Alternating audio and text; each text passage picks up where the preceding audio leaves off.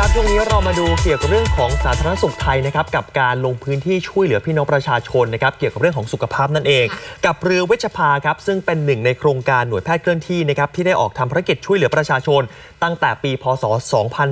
2498 จนถึงปัจจุบันครับรวมแล้วกว่า 67 ปี วันนี้ครับก็เลยจะพาคุณผู้ชมครับไปดูกันว่าเรือเวชภาลำนี้นะครับไปที่ใดบ้างรวมไปถึงจังหวัดไหนบ้างไปติดตามชมพร้อมๆกันครับ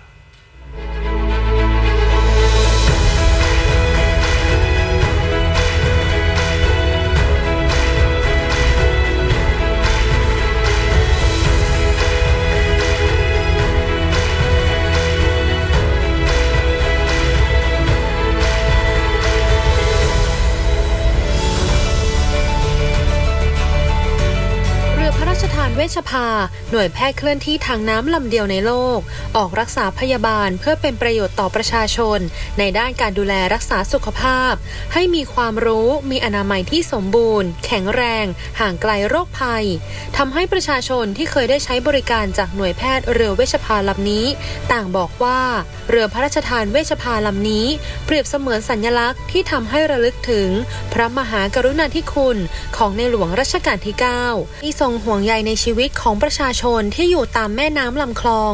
เรือเวชภานี้ทำให้รู้สึกสำนึกในพระมหากรุณาธิคุณอย่างหาที่สุดมิได้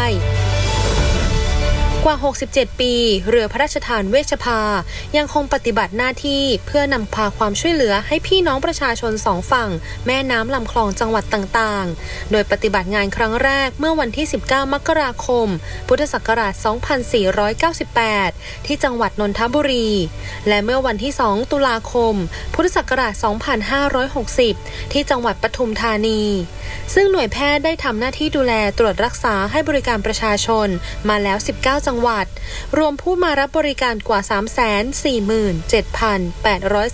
347,837 ราย โดยปฏิบัติงานรวมทั้งสิ้น 153 ครั้งเรือเวชพาหน์เป็นเรือไม้สองชั้น ขนาดกว้าง 3 เมตร 81 เซนติเมตร ยาว 15 เมตร 69 เซนติเมตร สูง 3 เมตร 75 เซนติเมตร เครื่องยนต์ดีเซล ตราอักษร Perkins 6 สูบ 100 แรงม้า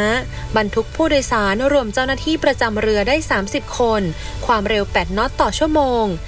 ชั้นบนเป็นโถงโล่ง ใช้เป็นที่นอนสำหรับเจ้าหน้าที่หน่วยแพทย์ ชั้นล่างสร้างเป็นห้องตรวจรักษาผู้ป่วยจำนวนสองห้อง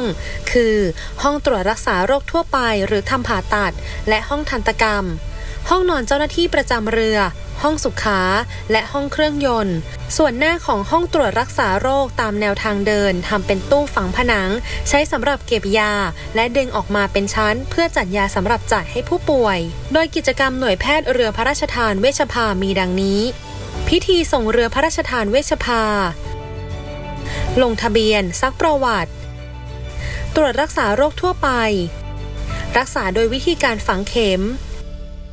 บริการด้านทันตกรรม การจ่ายยา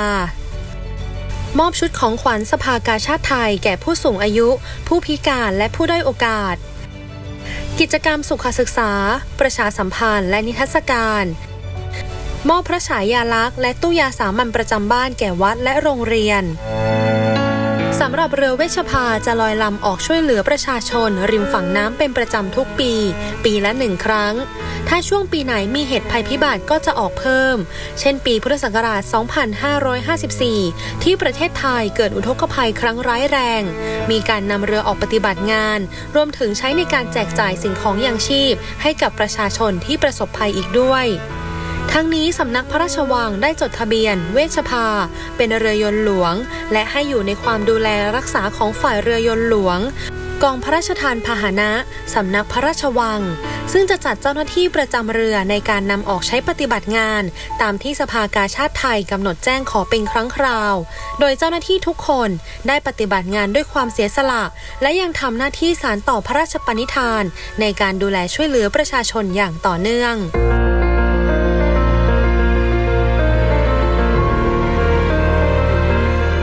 ระยะเวลา 70 ปีแห่งการครองสิริราชสมบัติ พระบาทสมเด็จพระบรมชนากาธิเบศรมหาภูมิพลอดุลยเดชมหาราช บรมนาถบพิตรทรงแสดงให้เห็นถึงความห่วงใย และพระราชหฤทัยมุ่งมั่น ในการพัฒนาด้านการแพทย์และสาธารณสุขของประเทศไทย เพื่อให้ประชาชนคนไทยในท้องถิ่นต่างๆ ทั่วทุกภูมิภาคของประเทศ ได้มีสุขภาพดี ภายใต้พระราชปณิธานส่วนพระองค์ที่ว่า คนไทยทุกคนต้องได้รับโอกาสการรับบริการรักษาอย่างดีที่สุด ได้รับการบำบัดป้องกันอย่างดีที่สุด เพื่อให้คนไทยมีสุขภาพดีทั่วหน้า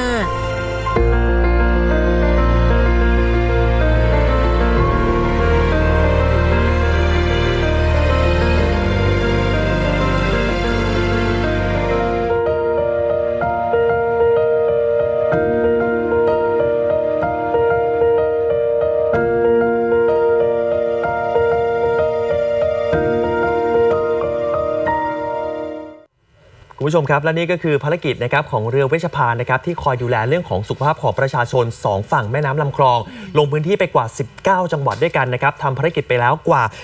153 ครั้งด้วยกันนะครับในการที่จะทำให้คุณภาพชีวิตของประชาชน มีสุขภาพที่ดีมากยิ่งขึ้นด้วยนะครับ